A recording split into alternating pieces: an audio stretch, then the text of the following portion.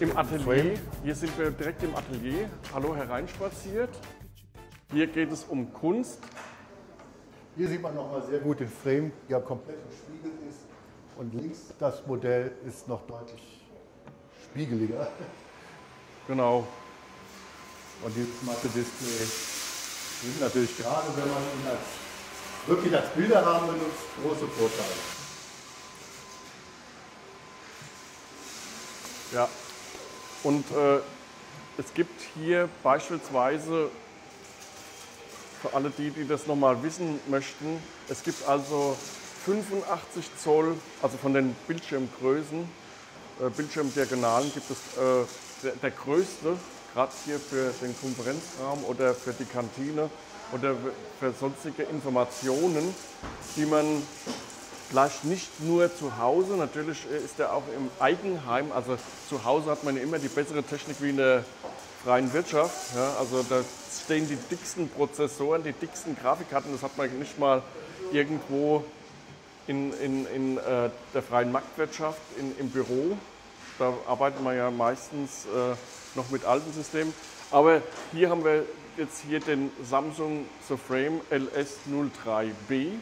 Den gibt es in 85 Zoll, 75 Zoll, 65 Zoll, 55 Zoll, 50 Zoll und 43 Zoll.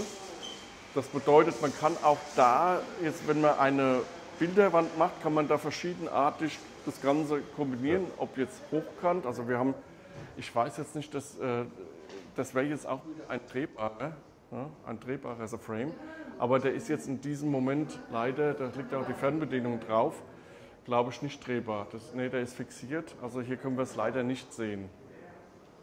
Ja, ein Punkt noch, Fernseher werden ja immer größer, jeder möchte möglichst großen Screen haben. Problem ist, wenn man so einen 85 Zoll Fernseher daheim im Wohnzimmer und man hat ihn nicht an, dann hat man so ein schwarzes Monstrum. Und dafür ist eigentlich der Frame auch eine schöne Lösung. Da kann man nämlich einfach auf ein Foto oder ein Bild umschalten und dann verschandelt er das Wohnzimmer bei Nichtgebrauch auch genau. nicht. Genau. Und wir sehen jetzt auch nochmal hier in der Grafik, äh, was da geändert wurde. Also hier sehen wir die Struktur der Oberfläche jetzt ganz neu. Äh, dass die so ein bisschen vertieft sind.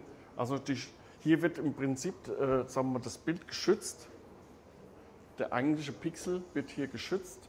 Und ja, man hat etwas weniger seitlichen Blickwinkel. Aber wenn ich jetzt hier äh sagen wir mal, den Samsung Frame sehe, der nicht entspiegelt ist, äh, selbst wenn ich einen Blickwinkel habe, erkenne ich nichts, weil die ganze das, Reflexion drauf ist. Ne? Und das gilt eben nicht nur für die Fotos, sondern auch beim Fernsehen ist das ein entspiegeltes Bild eigentlich, gerade wenn man ein helles Wohnzimmer hat mit einer breiten Fensterfront, ist ein spiegeltes Display ein großer Vorteil. Und ich persönlich habe eigentlich eh nie verstanden, wieso, man, wieso die Fernsehersteller sich davon so wegbewegt haben. Denn sie waren früher schon mal entspiegelt ja. und wurden dann irgendwann nicht mehr entspiegelt. Und jetzt geht man wieder hin zu den Entspiegelten, was meiner Meinung nach der richtige Schritt ist. Ja. Aber hier habe ich jetzt gerade nochmal äh, das gezeigt, also ja. hier in der, mit dem sogenannten Wohnzimmerambiente. Ja? Also keine Angst, das ist jetzt nicht vom Friseur so, ein, so eine Haube, sondern das ist jetzt ein Licht. Das soll jetzt also hier zeigen, wie, sagen wir mal, jetzt hier die, ähm, die Anti-Reflexionsbeschichtung ja, wirkt, genau. wie, wie, sie arbeitet. Und wir sehen, wir können immer noch, wir können immer noch äh, die Nachrichten gucken oder ja, also man sieht auch hier, dass auch der Kontrast hier nicht leidet. Wir äh, haben hier auch äh, durchaus auch äh, Kinofeeling, würde ich sagen. Ja. ja, also das ist wirklich. Aber hier ist es so, dass es auch hier kein äh, Direct LED, also wir haben hier keine, also als Backlights keine LEDs, sondern wir haben jetzt hier Edge LED. Das heißt also hier seitlich sind, ist die ja. Backlight-Beleuchtung verbaut. Das, äh, für die Profis heißt das immer so ein bisschen weniger Kontrastumfang. Es ist also eigentlich schon mehr ein Wohnzimmermodell für, für die Wohnraumintegration. Für die genau. Weniger für die absoluten Bildpuristen. Das macht auch, das macht auch momentan macht das, äh, sagen wir mal, die Professionalität aus. Ja? Wir haben jetzt die ganze Zeit auch diese ganzen Top-Fernseher. Ja die haben ja alle praktisch noch mehr äh, Mini-LEDs, äh, äh, sodass man auch die Zonen Ja. noch feiner, Also die Zonen werden immer kleiner bei den, bei den Backlight-LCDs und dadurch können die Partien, die dunklen, immer kleiner werden und der Inbildkontrast kann gesteigert werden. genau, und du, du erhältst da mehr, damit noch mehr äh, Inhalte, Bildinhalte und Details. Und du kannst natürlich auch äh, äh, detailgenauer äh, diesen Kontrast steuern. Weil hier geht es also ja das, um das Steuern. ultimative Testbild ist dann immer ein Sternenhimmel. Das war eben auch kein Zufall, dass man das bei dem OLED-Fernseher Sternenhimmel gesehen hat. Denn da kommen die LCDs meistens in ihre Grenzen. Die, wenn die Zonen nicht klein genug sind und in jeder Zone ein heller Stern ist, dann muss die Hintergrundbeleuchtung angeschaltet werden. Und dann ist das Schwarz nicht mehr so dunkel. Und Je kleiner die Zonen werden, wenn die Zonen also kleiner sind als der Abstand der Sterne, dann ist dieser hohe Kontrast möglich. Und äh, je mehr Zonen, desto, desto besser. Und ja, mit jeder neuen Generation kommen mehr hinzu, Zonen hinzu. Und der, der Schritt, der Kontrastgap zwischen OLED und LCD wird dadurch immer kleiner. Mit dem Genau. Vorteil bei LCD für noch mehr Helligkeit tatsächlich. Und, äh, ja, Ah, hier sieht man das übrigens nochmal sehr gut. Ja, Wenn man das, mal, hier, das Gerät ist nicht entspiegelt. Und das hier ist entspiegelt. Da sieht man Genau. das nochmal recht gut, den Unterschied. und man hat jetzt hier einen Wenn man so Staffeleifuß. Ja. drauf guckt, dann, äh, dann sieht man halt hier die Spiegelung und da ist das Bild leicht matt. Genau. Und, Und äh, jetzt hier, wie gesagt, wie in einem Atelier, hat man jetzt hier einen Staffeleifuß, der also jetzt hier auch sehr elegant natürlich wirkt. Und man kann es dann auch hier wie ein richtiges Bild, äh, man kann hier verschiedene Rahmen aufstecken. Das ist also genau, verschiedene Farben und dann kann man das mit diesem Staffel. das ist so ein Clipsystem, das hält von selbst. Äh, Und das ist schon da eine gibt schöne es Designlösung. verschiedene Farben für die eigene Farbgestaltung.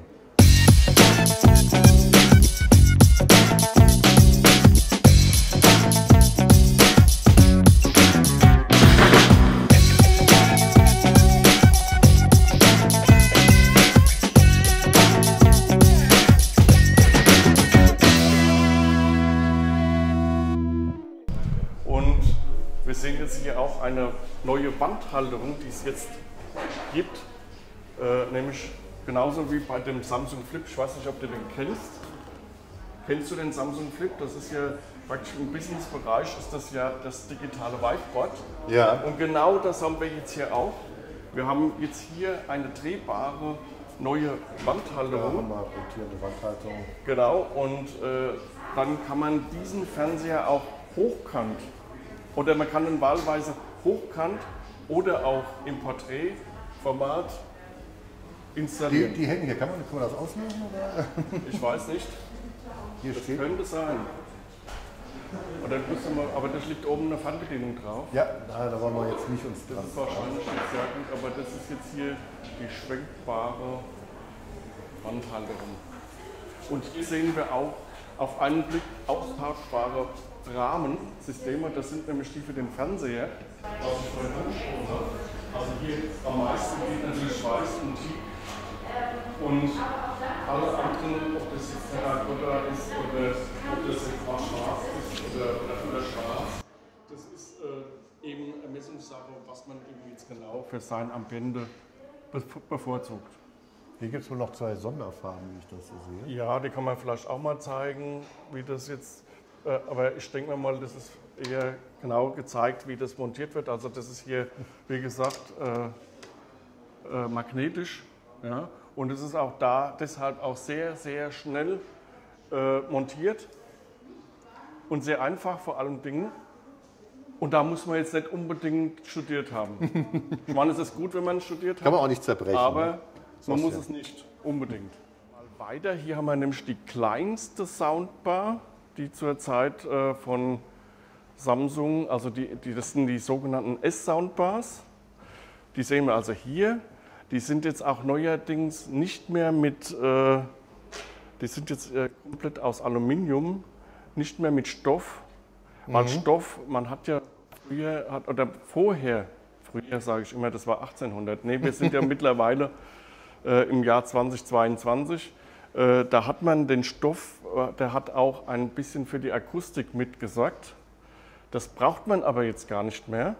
Und aus diesem Grund hat man jetzt hier eine eine Lifestyle-Lösung äh, im Prinzip kreiert, die auch jetzt schön mit, äh, sagen wir mal, im stylischen Weiß äh, und auch im Gibt's auch schlanken, man schlanken Design, also hier haben wir es auch nochmal in Schwarz, mit einem Subwoofer, also der jetzt hier steht, auf der Erde, ähm, hat man da einen wunderbaren, satten Klang. Man wird es nicht glauben, aber wirklich, das ist wirklich krass, muss man schon fast sagen.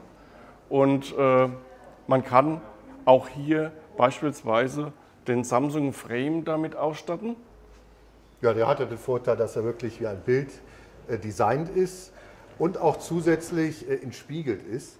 Das heißt, ähm, man, hat, man hat das vielleicht eben ein bisschen gesehen, die meisten Fernseher haben nach wie vor eine Hochglanzoberfläche. Ja. Diese Oberfläche ist äh, entspiegelt, das heißt, auch wenn man schräg drauf guckt, hat man nicht diese Spiegelung im Bild. Das ist nicht nur Genau, das dann ist- Vorteil, wenn er ein Bild zeigt, der kann ja bei Lichtgebrauch einfach ein, ein, ein Bild zeigen. Das ist ja ganz neu. Ne? Das ist ja ganz neu. Vorher waren die ja nicht entspiegelt. Das ist ja in diesem Jahr den neuen Ja. Modellen. Ja, sie waren so leicht entspiegelt, aber das ist jetzt deutlich entspiegelter. jetzt Also das ist jetzt richtig gut entspiegelt. Das ist auch wirklich Also- ein großer, großer Vorteil. Und das äh, ist zum Beispiel auch für einen kleinen Konferenzraum oder für eine kleine Kantine ist das natürlich auch eine super Lösung. Man äh, kann jetzt im Prinzip äh, praktisch auch hier ein, ein Bild anzeigen und, äh, und man hat aber auch die Möglichkeit, natürlich alle möglichen Informationen einzublenden. Es ist ein vollwertiger TV mit, äh, sagen wir mal, einem Triple Tuner und äh, ja, man kann es sehr gut integrieren, wie gesagt, in, die, in eine Wohnwelt. Oder wenn es wenn, darauf ankommt, dass es eben besser aussehen muss. Ja? Ja. Also das ist zum Beispiel für mich privat ganz interessant. Ich habe nämlich auch so einen Fernseher über so einen Kaminsims und da passt so eine dicke Soundbar einfach gar nicht drauf. Vielleicht können wir die gerade nachher abbauen. Genau, in schwarz brauche ich die. Okay, wir nehmen sie in schwarz. Denn dann kann man die Ja. nochmal ganz elegant drauf tun. Gut, ähm, sehen wir hier praktisch eine kleine Webcam. Bei gewissen Modellen kann man diese Webcam nämlich nachrüsten. Es gab, also früher mal wurden ja äh, praktisch die Kameras äh, in, in den Fernseher Also integriert. Genau, das ist gar nicht so lange her, da hatte praktisch jeder Aber- Fernseher eine Kamera. Da hat man Dann gab es natürlich diese, diese äh, Persönlichkeitsrechtsbedenken. Ganz genau. Dann hat man die Kameras so gemacht, dass man sie wegdrücken konnte, dass sie nicht filmen, aber letztendlich hat man Richtig. sie einfach wieder aus den Geräten rausgenommen. Genau, und jetzt ist es so, man kann also die Kamera nachrüsten. Es geht nicht bei allen Modellen, nur bei den neuen. Und äh, kann die Kamera einfach jetzt, da ist hinten im Prinzip ist da eine, eine Befestigung mit vorgesehen in den neuen Modellen. Und dann kann man diese Kamera einfach nachrüsten und dann kann man das Büro im Wohnzimmer, also Homeoffice, Genau, ist eigentlich kann man eine dann Business- nutzen und kann dann da, äh, sagen wir mal, seine individuelle eigene Videokonferenz halten. Ja, Ja, man sieht das ja hier auch live. Wir werden hier gerade Genau. gefilmt. Ja, achso, wir sind live im TV. Sehr gut. Bisschen unterbelichtet. Ja, das ist jetzt aber das sind wir wahrscheinlich. ja eh, ne? Unterbelichtet ja, ein bisschen. ja. gut, also das heißt, hier haben wir jetzt nochmal in weiß, also die gibt es in weiß und in schwarz.